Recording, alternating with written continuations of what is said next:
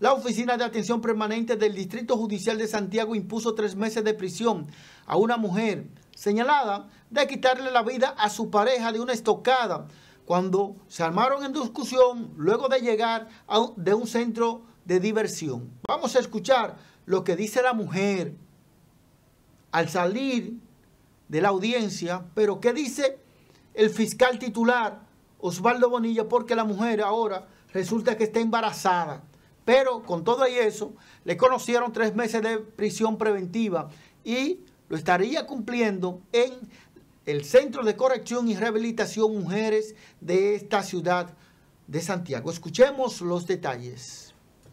El incidente ocurrió después de tres meses de relación y un mes de convivencia, donde la Fiscalía de Santiago presentó pruebas ante la jueza Wendy Tavares, quien determinó que los elementos eran suficientes para privar de libertad a la acusada. A la salida de la audiencia, Fanny Nicole Peña afirmó de que era inocente y que amaba a su pareja. Sin embargo, la mujer también alegó de que fue su pareja quien se provocó las heridas que resultaron fatal.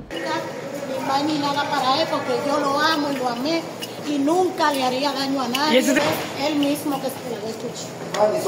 A pesar de que se confirmó de que Fanny tiene tres meses de embarazo, el fiscal titular de Santiago Osvaldo Bonilla argumentó de que la gravedad del caso justifica la prisión preventiva. es el caso que sucedió ahí en la parte norte de la ciudad, donde una mujer hirió eh, mortalmente a un hombre y está siendo sometida a medida de coerción. Cuando las experticias que se le han hecho hasta ahora indican que, tiene un embarazo eh, iniciado, la señora.